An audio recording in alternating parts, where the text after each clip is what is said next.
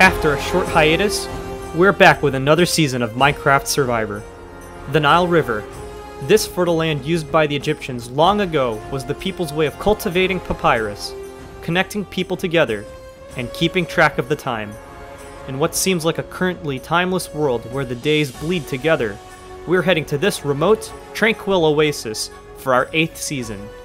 We're here to witness the battle of the ages. Age plays a big factor in this game. The older people are going to have a lot more life experience, and the young guns, they're going to be unpredictable and harder to point out. I'm ready for the ride, man. You know, as somebody who's like on the younger side myself, and I don't believe there are too many younger players, I think I'm gonna try to like stick with them. Will the wisdom, fertilized from older ages' maturity, prevail in this game? I'm 24 and a professional writer. At the start of quarantine, uh, I pretty much lost everything. Uh, I lost my job, my hobby, and my significant other. Uh, I'd really love to use this opportunity to play this game and hopefully make some new friends along the way.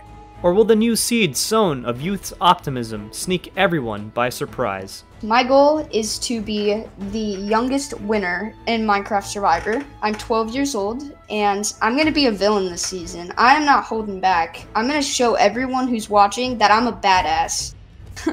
39 days, 16 people, 1. Survivor.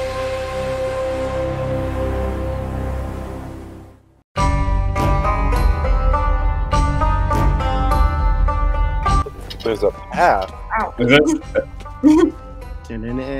Follow the leader. It appears I'm marooned in the desert with a bunch of uh, clowns and one kid who seems to be just out of the womb. What a poor baby. In retail, I've learned to deal with people uh, because we get the crazies every single day that come in. Uh, I'm going to sell these people my shit and uh, we're going to have some fun here. I plan on being the Cleopatra of this Nile. It's a You're book. You were the last person there, and we don't like you. You're the first eliminated. Oh, that's not good. gone. You know, something people won't know about me while I'm playing this game is I'm a professional video game player. Like, I played for a team in Contenders Overwatch. I was the second best Halo Reach player in the world. I'm gonna try and play up that kind of goofy persona, everyone that think they can trust this kind of silly guy. When in reality, I'm gonna be more tactful and deceitful than anyone out there. Welcome to the Oasis. 16 of you are about to start an epic journey here in the desert of the Great Nile. Please get to know each other. You will be together on this first day of your adventure. Now, you have 15 minutes to talk to each other. Others in chats no bigger than three people. Go. Wow.